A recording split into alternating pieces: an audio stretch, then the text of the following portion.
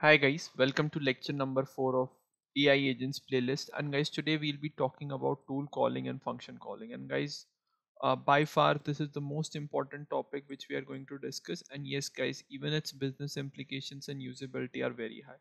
So guys I'll be telling you in very simple term what tool calling or function calling is. In simple terms at a low level design all you need to do is define a Python function so guys, once you define a Python function, right, you can define a Python function like you used to, right? It's pretty simple. You just need to write a Python function. Then guys, this is your LLM. Okay, now the fact is that your LLM is going to call this Python function. So you need to realize that this is your LLM and it's going to have access to this Python function. Now this can be based on your, your logic, your organization, any logic guys any logic which you can think which can be uh, written in the form of python function. And as far as i know anything can be written in the form of python function. Your llm can have direct access to it. It can use it whenever it want. Now guys why is this important? Because guys this python function okay is something which can call a api which can have some custom business logic which can do a insert which can do a select statement. It can do anything in the world guys. This is known as business logic. If your business logic gets integrated with llms anything can be done by a simple simple llm call. This is the power guys. Okay let's say you want to update a record insert a record fetch user details. Everything can be done in the most simplest manner with the help of an llm but obviously guys since uh, tool calling is a little like you will be able to understand it that's for sure because it's simple right? Just have uh, external python functions and uh, so i'll just help you understand it a little better. Let's just maybe uh, let's just maybe go to this plain sheet. So guys see in simple terms you will be able to understand this this is your llm okay? And this is your python function. Now the thing is let's just join it over here. Now the only thing that you need to know is that this is your llm okay? It got erased so that's okay. We can draw it again. So this is your llm this is your python function. They will be talking to one another. And uh, this is exactly your llm mm, let's just go to pencil so this is your llm okay. And this is your python function. Now guys they will be communicating with one another. Whenever your llm thinks that okay i do not know this answer it's gonna call this function. And this function as i said is known as business logic. Guys this can be anything. This can be a database query. It can be a api call. It can be your custom business logic which is like defined in your organization which llm doesn't know right? So guys the only thing that you need to catch here is that here i'm using langchain okay? And there will be multiple frameworks which allow you to do tool calling and all but guys the main concept is not about framework. The main concept is knowing that functionality and understanding one framework well.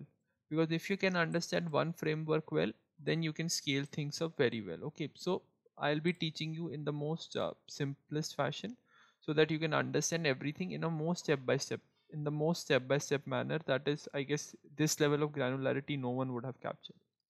So guys let's just start. So the first thing is simple. We just need to install uh, generative ai module from google. We have been doing it in all our lectures. Then we just need to set up the stuff. We have been doing all this in all lectures. We just need to get the environment variables loaded in. We just need to set our api key and we just need to define our llm and this has been done across lectures. So let's just move to the next point. Now guys moving towards the tool calling part. So let's just try to see what import we are doing. So we are saying langchain core dot messages import human message and tool message. Now guys langchain as you know like it's a python library that's right? Now the thing is what type of messages it has? So it has human message it has tool message it has ai message and it has i think it has human message tool message uh, ai message and system message yeah.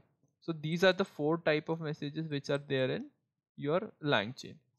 Now we are importing it and it's just we are calling in the tool because I said that we'll be understanding tool calling. So guys tool is just don't get confused with fancy words. It's simply you can think of it as uh, a python function which may make a api call which may uh, have any business logic written which can call any database everything is like shown.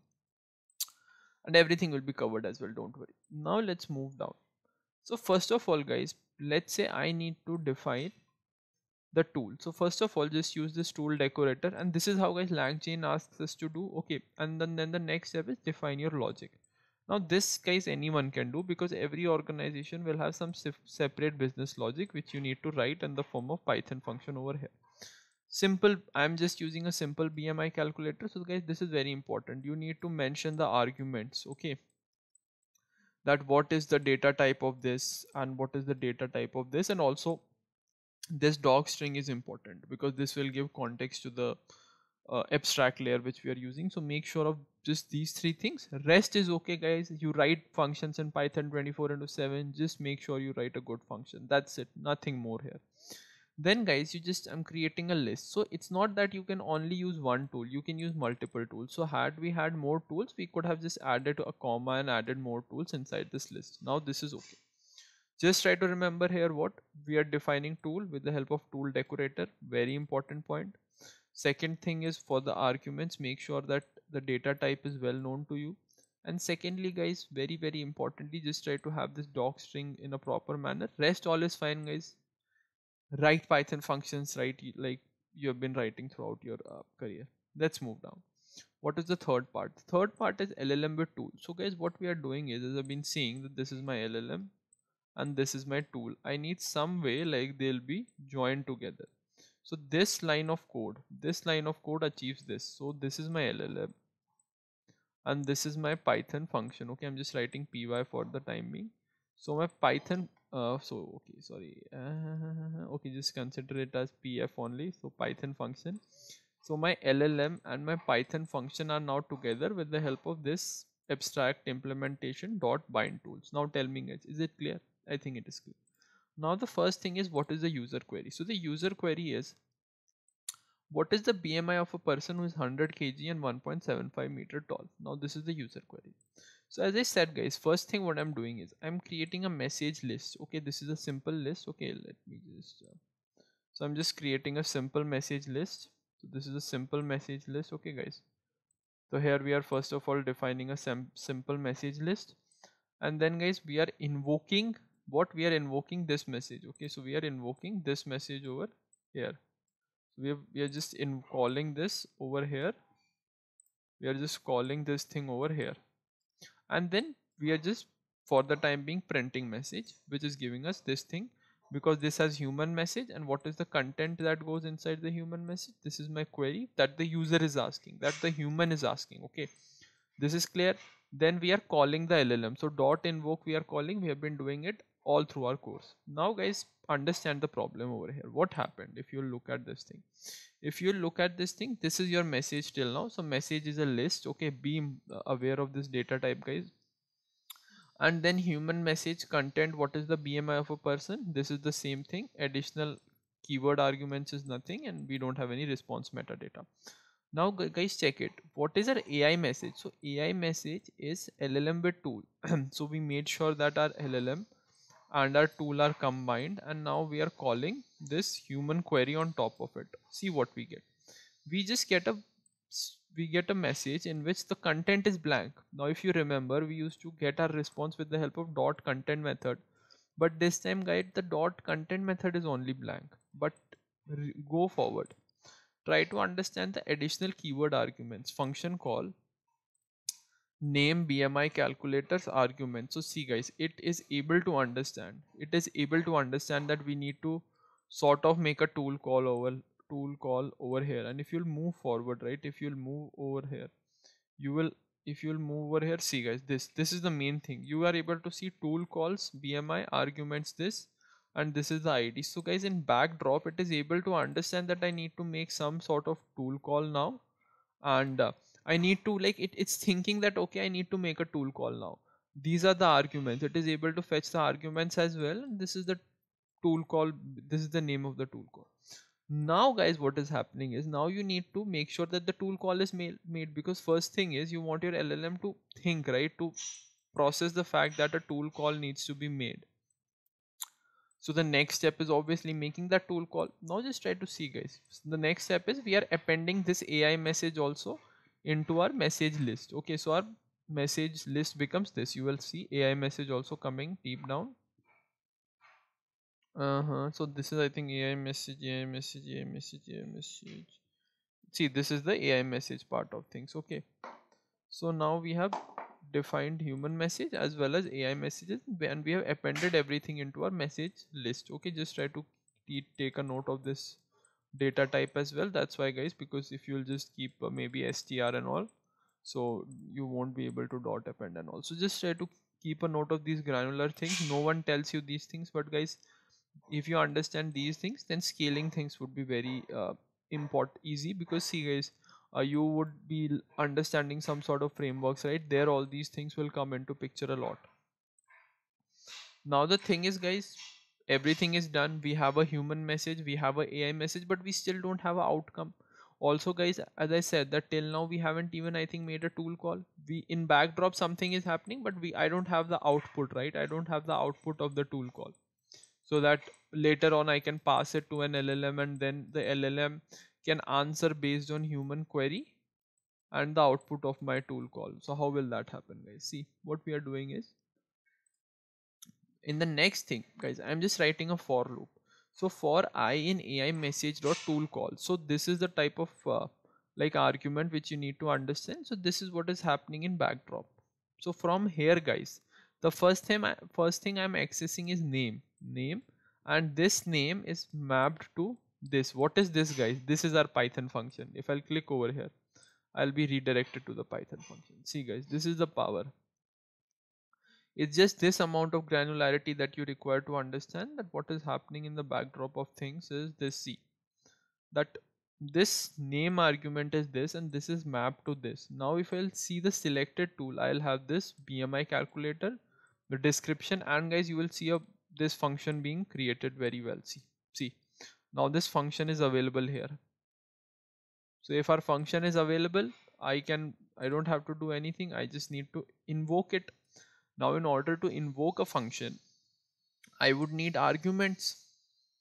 And because of this AI message thing, I already have the arguments. See this args parameter.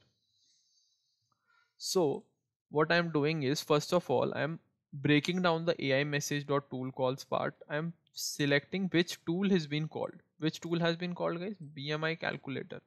BMI calculator is mapped to what? BMI calculator. What is this? This is our Python function which is written at top. Then the next thing is this is the selected tool.